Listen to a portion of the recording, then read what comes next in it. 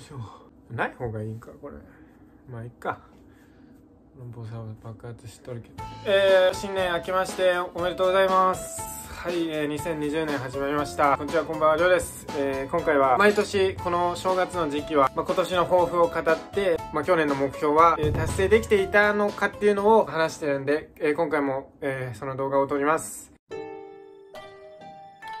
まあ、えー、前回の動画で1年間の奇跡っていうかね、振り返りの動画を、えー、投稿して、まあ、その前は、まあ、ビフォーアフターの動画を投稿したんで、見てくれたらと、えー、思うんですけど、えー、本当に、えー、去年の、まあ、2021年は、えー、またまた変わることができたっていうか、まあ、ボクシングの方ですごい大きく前進したっていうか、プロボクサーとして、まあ、前に進んだ、えー、年になることが、えー、できました。そしてまあ、去年のね、えー、2021年の抱負が、えー、こちらになります。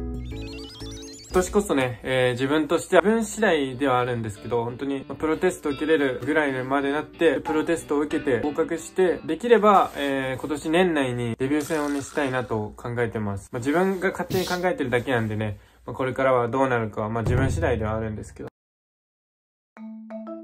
まあ、2021年の抱負が、まず、年内に、えー、プロテストを受けて、で、合格して、してデビュー戦までできたらいいなっていう話をしてたんですよ。で、まあ、2021年終わって、えー、実際のところ、えー、プロテストももう、その話してた2ヶ月後に受けて、で、一発で合格できて、そのまた3ヶ月後に、プロデビュー戦をやって、まあ、有言実行通り、えー、KO 処理で勝つことができたっていう。で、まあ、その後ね、えー、拳を骨折しちゃって、後ろの半年間はリハビリがずっと続いたんですけど、まあ、現在は拳ももう治ってきたんで、まあ、来年、まあ、試合がね、できると思います。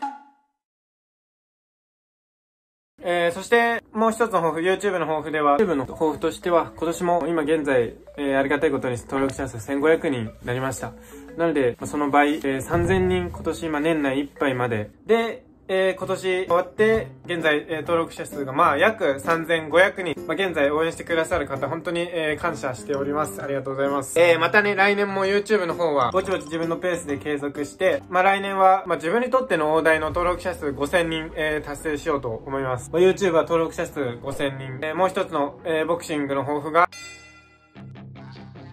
自分は、